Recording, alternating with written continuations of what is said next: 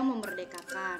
Paradigma sistem pendidikan sebelumnya, orang tua selalu berpikir bahwa tolak ukur keberhasilan anak dan pembelajaran sekolah adalah pada nilai. Kemudian orang tua merasa bahwa mereka bisa menentukan masa depan anak.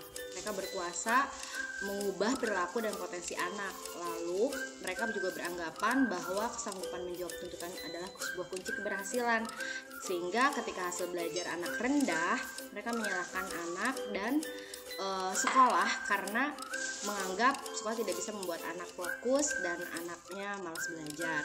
Sementara dari sisi guru, paradigma lama juga mereka hanya terpaku pada kurikulum, jadi memenuhi target kurikulum saja.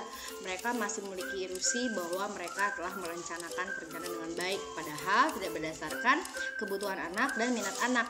Kemudian mereka selalu memiliki ilusi juga bahwa merasa sudah berhasil selama ini dalam mengajar uh, karena hanya mengukur dari nilai kognitif saja. Kemudian mereka juga memiliki ilusi kontrol sama persis seperti orang tua. Mereka merasa guru-guru ini merasa bahwa bisa mengubah perilaku dan potensi uh, para murid seperti yang diinginkan.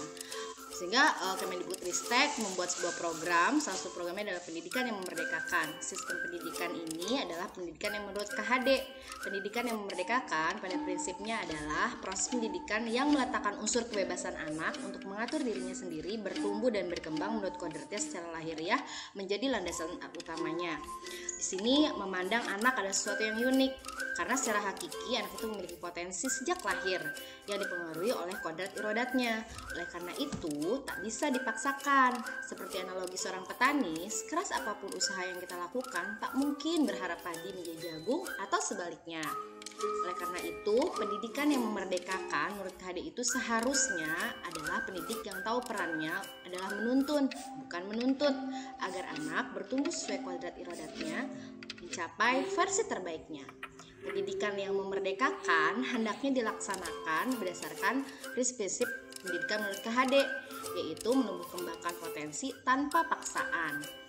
Dan dalam menjalankannya, lakukan dengan penuh kasih sayang, secara among, memberi contoh baik dan buruk tanpa memaksa, ngomong, mengamati, merawat, dan menjaga tanpa ada intervensi sehingga murid bebas untuk mengembangkan diri, merdeka batin, lahir dan tenaganya. Dalam prosesnya sebagai fasilitator menjadi teladan, kadang memberi semangat, kadang memberi dorongan. Uh, karena itu mari saatnya kita merubah pikiran kita ke paradigma yang baru. Saatnya merubah pemikiran lama ke paradigma baru yang mencerminkan pemikiran KHD.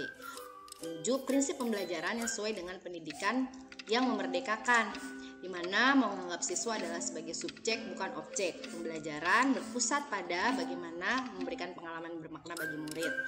Mari bersama kita menerapkan pendidikan yang memerdekakan, yang memiliki ciri memanusiakan manusia, menuntun bukan menuntut, berorientasi pada pembentukan budi pekerti, bukan nilai sebuah tolak ukur, berorientasi pada kebutuhan murid untuk menciptakan merdeka lahir batin, mencapai kebahagiaan dan kesejahteraan yang setinggi-tingginya, dan pada akhirnya dapat mewujudkan profil pelajar Pancasila. Thanks for watching. Terima kasih. Assalamualaikum warahmatullahi wabarakatuh.